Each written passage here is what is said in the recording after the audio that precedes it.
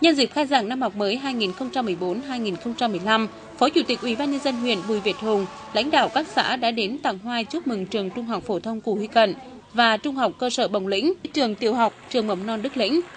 Năm học này, trường Trung học phổ thông Cù Huy Cận đón gần 800 em học sinh. Năm học qua thực hiện các phong trào thi đua, các cuộc vận động do Bộ Giáo dục và Đào tạo phát động. Nhà trường đã triển khai tốt chủ đề năm học, đó là đổi mới công tác quản lý và nâng cao chất lượng giáo dục, kỷ cương nề nếp trong hoạt động chuyên môn, kiểm tra, đánh giá, thi cử, đảm bảo nghiêm túc, công bằng, chính xác.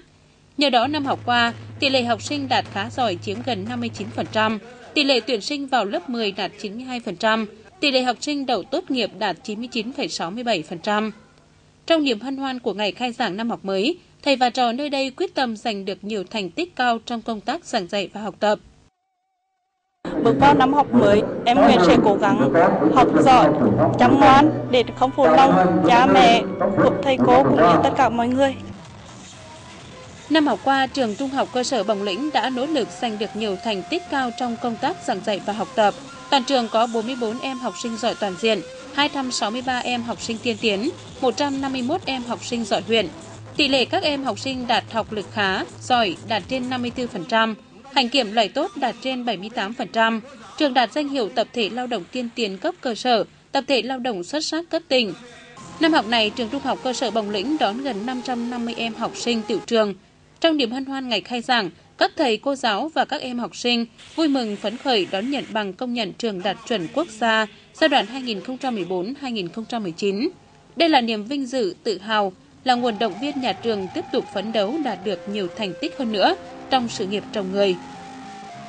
Để giữ được chuẩn thì cái thứ, thứ nhất là về phía nhà trường là phải thực hiện cái chủ trương của ngành là cải tiến công tác quản lý. Thứ hai là cải tiến giảng dạy, nâng cao cái hiệu quả dạy và học. Cái thứ ba là đẩy mạnh các hoạt động đoàn thể trong nhà trường để làm thế nào cho trường ngày càng sạch hơn, xanh hơn, đẹp hơn và có sức thu hút đối học sinh. Cái thứ ba là động viên học sinh, động viên phụ huynh trong quá trình quản lý và ừ, học tập của các em ở nhà để nâng cao chất lượng các em từ nâng cao chất lượng các em. Mùa thu đến, tiếng trống trường đã ngân vang với những kết quả đạt được trong những năm học vừa qua, cùng khí thế thi đua sôi nổi, quyết tâm của cán bộ, giáo viên, các em học sinh. Hy vọng năm học 2014-2015, ngành giáo dục đào tạo huyện sẽ giành được nhiều thành tích cao trong dạy và học. Xin chuyển sang các tin quan trọng khác.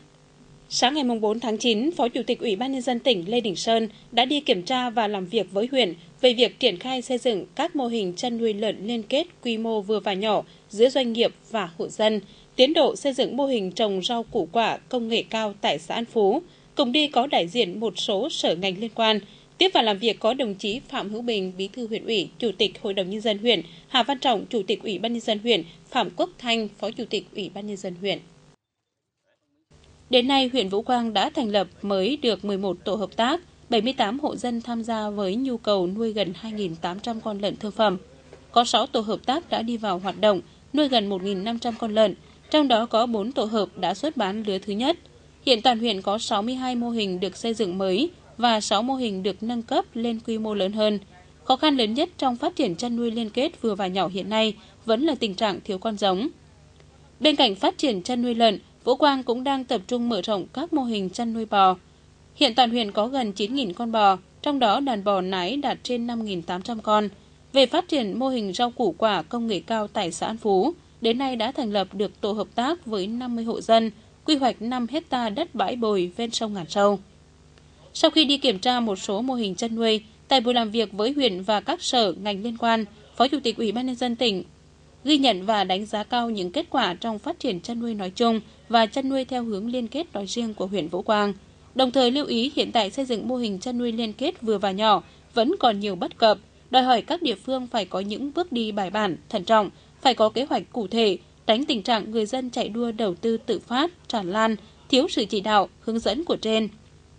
Đồng chí Lê Đình Sơn yêu cầu huyện cần xem lại nhu cầu lượng giống để tỉnh có định hướng chỉ đạo xây dựng các trại nái phù hợp. Huyện cũng phải đặt ra mục tiêu từ nay đến tháng 3 năm 2015 phải tự túc được nguồn giống đảm bảo cho các hộ tham gia mô hình chăn nuôi liên kết. Về phát triển đầu tư trồng rau củ quả công nghệ cao trên vùng bãi bồi xã An Phú, huyện và Tổng công ty khoáng sản và thương mại khẩn trương phối hợp triển khai các giải pháp phù hợp để sớm đưa dự án đi vào sản xuất. Hòa chung không khí Tết Trung thu trên mọi miền đất nước, tối ngày 4 tháng 9 tại xã Hưng Minh, Ủy ban nhân dân huyện đã tổ chức chương trình Vui hội trăng rằm năm 2014 cho các cháu thiếu niên nhi đồng. Vui hội trăng rằm với chủ đề Đêm trăng rằm nhớ bác, các em thiếu niên nhi đồng đã được thưởng thức nhiều tiết mục văn nghệ hay như chiếc đèn ông sao, rước đèn tháng 8, rủ nhau đi phá cỗ. Đồng thời đã được gặp gỡ nhân vật chị Hằng và chú Quậy trong một hoạt cảnh hay của đêm hội và được tham gia nhiều trò chơi, nhiều câu đố vui, cùng nhau phá cỗ. Qua đó đã tạo cho các em thiếu niên nhi đồng một không khí vui tươi, đầm ấm. Tại đêm hội Trung thu, đại diện lãnh đạo cấp tỉnh, lãnh đạo huyện, xã tặng 30 xuất quà và 500 cuốn vở cho các em học sinh có hoàn cảnh khó khăn, nhằm động viên các em cố gắng vươn lên trong học tập, tu dưỡng và rèn luyện đạo đức để xứng đáng là con ngoan, trò giỏi, cháu ngoan bác Hồ và giành nhiều kết quả cao trong năm học 2014-2015, đồng thời chỉ đạo các cấp, các ngành, các địa phương, nhà trường, phụ huynh thường xuyên quan tâm, chăm sóc, dạy dỗ các em, nhất là trẻ em bị tật nguyền, trẻ em mồ côi. Nhân dịp Tết Trung thu và khai giảng năm học mới, các đồng chí lãnh đạo huyện, các cơ quan ban ngành đoàn thể, các xã thị trấn đã tổ chức tặng quà cho các em thiếu niên nhi đồng. Tại xã Đức Hương, Bí thư huyện ủy, Chủ tịch Hội đồng Nhân dân huyện Phạm Hữu Bình đã đến tặng quà cho cháu Trần Mỹ Linh, sinh năm 2013 ở thôn Hương Thọ, bị u máu bẩm sinh.